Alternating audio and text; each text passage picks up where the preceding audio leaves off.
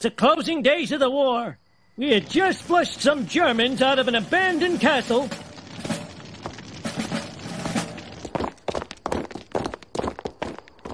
Hey! Burnsie found some pictures! Wait a minute. We ain't supposed to steal from civilians. You want me to report you to Commander Flanders? Just leave them, Burnsie. Leave them for whom? The Germans? The folks who shoot at us all day? Let's just take them. We'll all be rich, rich as Nazis. Whoa! I Think of what a guy could get himself with that kind of scratch. Yeah, I could buy chicken dinners three times a day. Uh, I could buy a brand new Studebaker with, with a fan on the dashboard. I could buy my way into high society. Well, I don't feel right about it, but I could use a nest egg for retirement. I'd hate to wind up in one of them old folks' homes. Then it's agreed.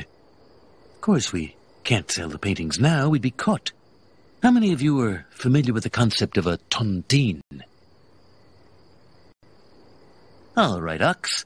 Why don't you take us through it? Uh, essentially, we all enter into a contract whereby the last surviving participant becomes the sole possessor of all them birdie pictures. Well put, Oxford.